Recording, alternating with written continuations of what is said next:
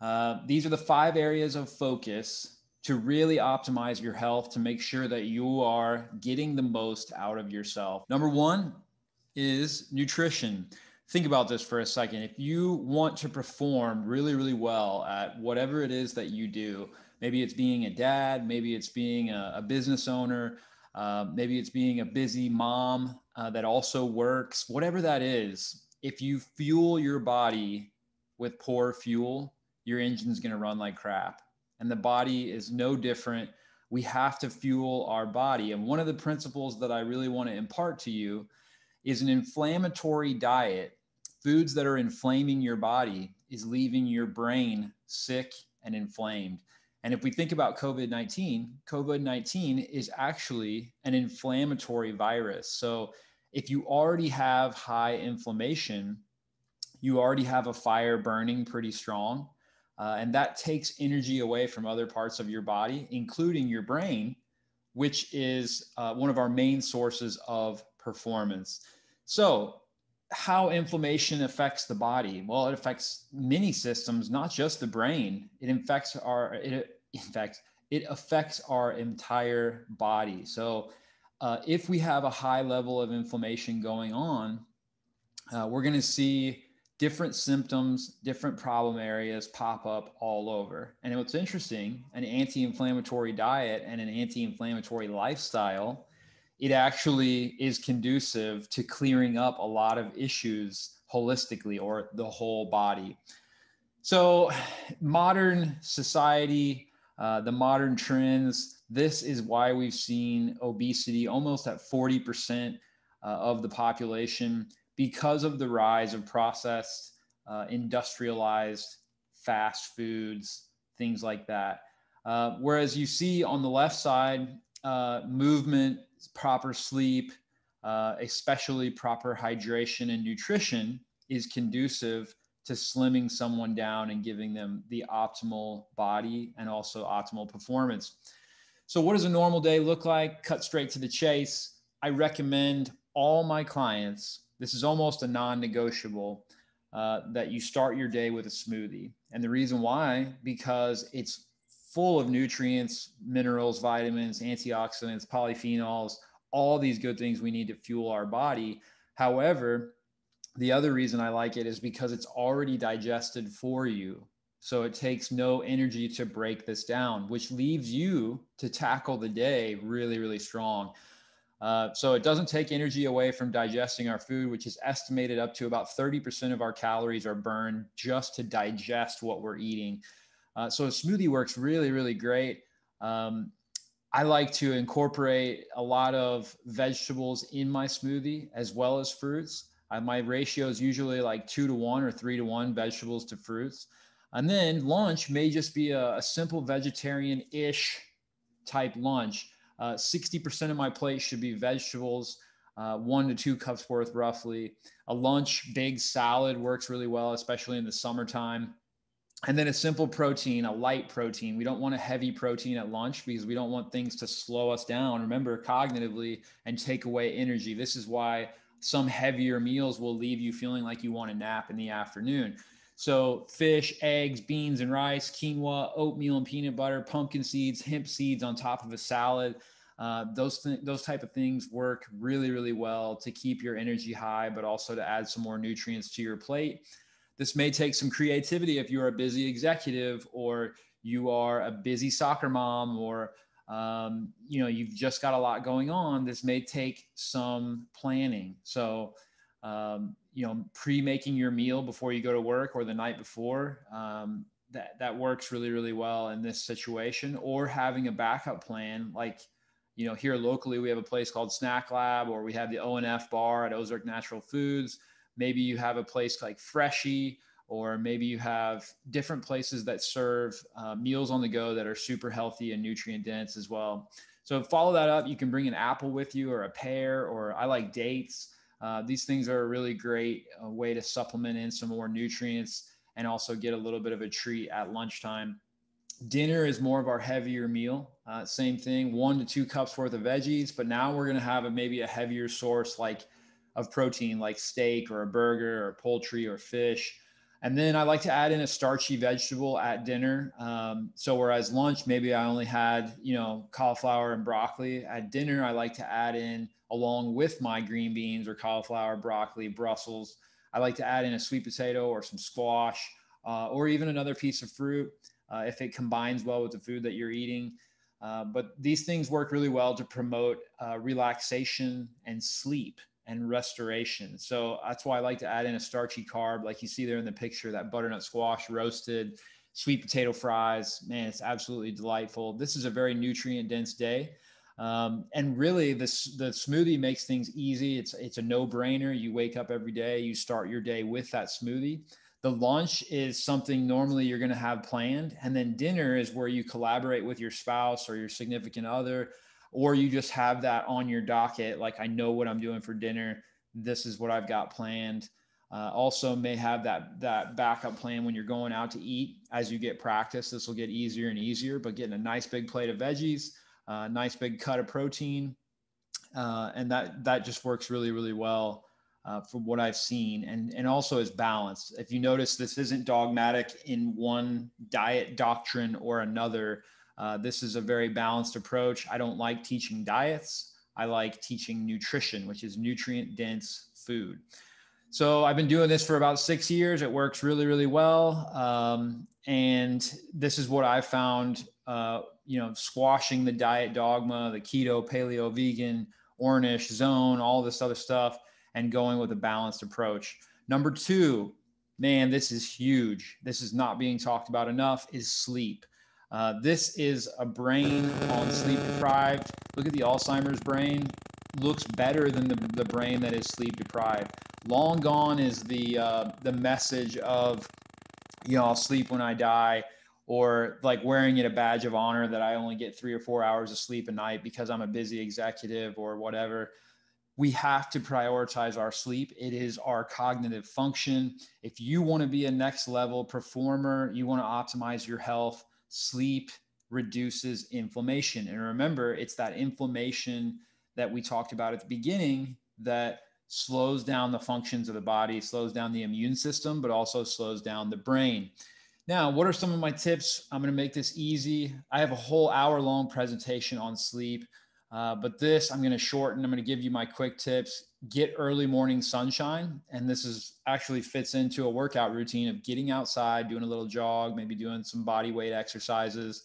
Get sunshine early in the morning has actually been shown to raise your serotonin and help you to sleep better at night because serotonin converts into melatonin at the end of the day. Shoot for 150 milligrams or less of caffeine and consume it before noon. Cut off all caffeine after 12 o'clock. This is huge. If you limit your caffeine consumption, cut out the energy drinks, all that other stuff, I promise you, you will sleep better. And the reason why is because caffeine has a half life of eight hours, eight to 10 hours. What is a half life? Well, that means if I have 150 milligrams of caffeine at noon, eight hours later at 8 p.m., I have 75 milligrams of caffeine still circulating in my system. That means that it's cut in half every eight, eight hours. That means you're going through your sleep cycles at night still with caffeine in your system, which is stimulating the adrenal glands to reduce or produce cortisol and adrenaline, which jacks up your sleep. Number three, nutrient dense foods. Yes, we talked about that. Stop eating before 7 p.m. or roughly two to three hours before you go to bed this going to bed with an empty stomach actually will improve your sleep quality, not quantities, quality. So the amount of deep sleep you get, the amount of REM sleep you get, and your overall sleep quality will shoot through the roof if you go to bed without food actually in your stomach. That is a game changer, trust me. And I've seen people lose tons of weight just by doing this, stopping eating three hours before bed, get rid of that nine o'clock, 10 o'clock bedtime snack um, and I promise you, you will see what I'm talking about when you do this. Avoid alcohol regularly. Number four, avoiding alcohol regularly uh, improves our sleep quality, yes, but it lowers inflammation. There's a reason why you're in called intoxicated when you drink alcohol. And the reason why is because it actually is toxic to the body in large doses. Um, and so limiting that to one or two times per week, one or two drinks per night is really really beneficial to improve your sleep quality your sleep quality number five and number six stop screen time before you go to bed limit household light exposure so basically get off all your devices dim the house lights uh, you can also wear blue blocking glasses that block out blue light that suppress melatonin and then number six magnesium glycinate or magnesium malate or citrate before bed everybody is magnesium deficient. It's estimated that 90% of the population is magnesium deficient. So, supplementing magnesium can really calm you down. It gets rid of leg cramps, uh, any possible restless leg syndrome at night, things like that. Magnesium can really, really help. Number three, this is huge. You got to reduce stress. If you are an active, busy person, which everyone is nowadays, cortisol is released uh, with both acutely and chronically in high stress situations. We need cortisol to get us up out of bed and get us moving. However, excess cortisol or unbalanced cortisol, it causes weight gain. Uh, it can cause weight loss and really stress out people. Uh, but that's mostly muscle loss, not fat loss. Uh, it raises inflammation. Remember, we're talking about inflammation again. It lowers the immune function, which we all need good immune function right now. And then it also uh, causes muscle loss and low libido. So, having a stress reducing routine. What is that? Well, for everybody, this may be different. For me, I like biking and hiking and floating. Uh, I'm just getting into woodworking and really, really enjoying that. Uh, however, for you, it may be the guitar. It may be taking a bath with some candles. It may be taking your dog on a walk in nature, playing with your kids, whatever that is for you, you have to figure that out. What reduces your stress? Try to prioritize this into every single day. You're doing something, something to reduce your stress, which brings me to my next point movement. A huge stress redu- reducer is actually moving and exercising our bodies. From men's health, look at the benefits of exercise, increases production of, of neurotransmitters, uh, improves memory, lengthens attention span. How, how critical is attention span nowadays, especially all of you who are working on Zoom or having meetings, things like that. Uh, it boosts our decision making skills. It prompts growth of new nerve cells and blood vessels. Uh, it, and it also improves multitasking and planning. So, exercise is more important than just for our body, it's massively important for our brain as well. Increase the levels of all these things with exercise. BDNF, this is like the brain's uh, fertilizer or Miracle-Gro. I mean, it just grows new brain cells. Brain derived neurotrophic factor is what that stands for.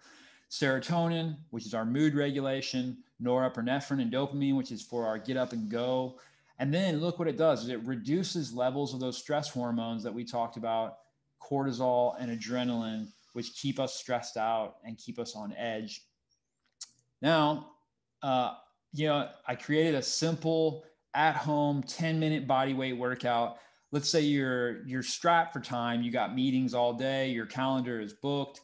Uh, how are you going to get some movement in? Man, this is simple. Throw this together in your living room, 10 minutes from start to finish. You know what else this does is it circulates blood. Blood is the source of life.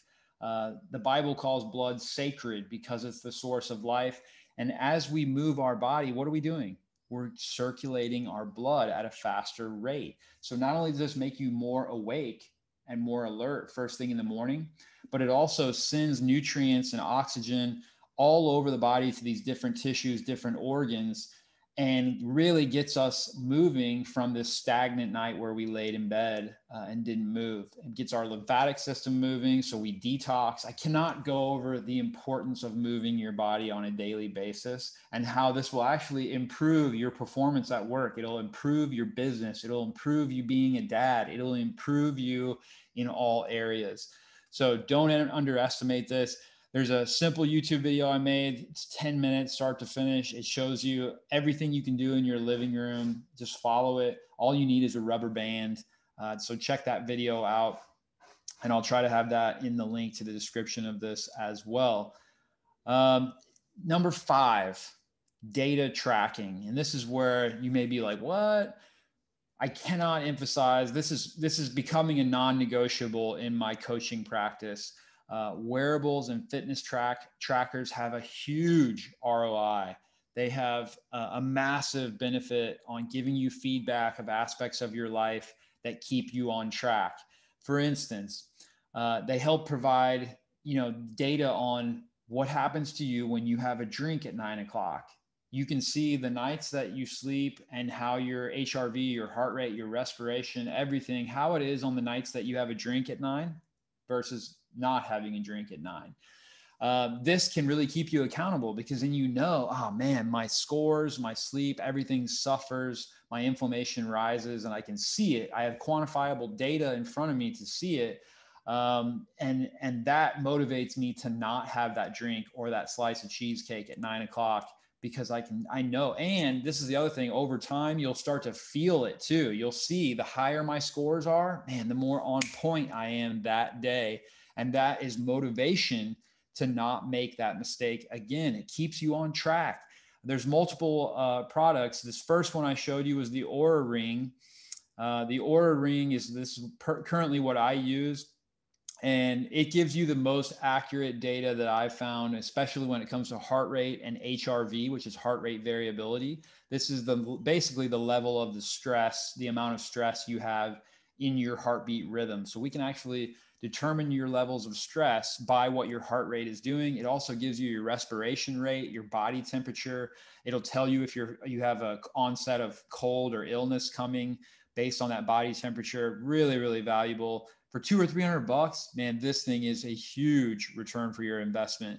Uh, there's also the the Garmin. This is what my wife uses. Uh, really, really good. It still tracks your deep sleep, your REM sleep, your HRV, your heart rate, your stress, all those things, and gives you a readiness score just like the Oura Ring does. There's also the Fitbit. I haven't played with this one, uh, but I've heard good things about it. Uh, so there's there's different you know there's different wearables you can get the whoop strap is one of my other clients really likes the whoop strap um, but like here's an example um, this is the effect on caffeine so i decided to do a test with my Oura ring this is me on caffeine okay? Um, this is after a 12 ounce regular dark roast or light roast coffee. And then watch what happens whenever i switch to decaf for two days. My deep sleep increases dramatically and my amount of wakefulness in the night these are the these light blue are the amounts that i woke up during the night uh, and maybe turned over so dramatic improvement in my overall sleep quality based on um, you know just reducing some caffeine and decaf isn't caffeine free and sometimes i'll do half caff where i'll do a, a little bit of coffee regular coffee and a little bit of decaf here's another example this is uh, a night of inflammatory foods like eating out. Look at my sleep quality over here to the very, very left. And then look at my resting heart rate was a 43. Uh, my heart rate variability was bad at a 68. My respiratory rate, this is 15 breaths per minute. And then my body temperature was elevated. Now look over here to the right.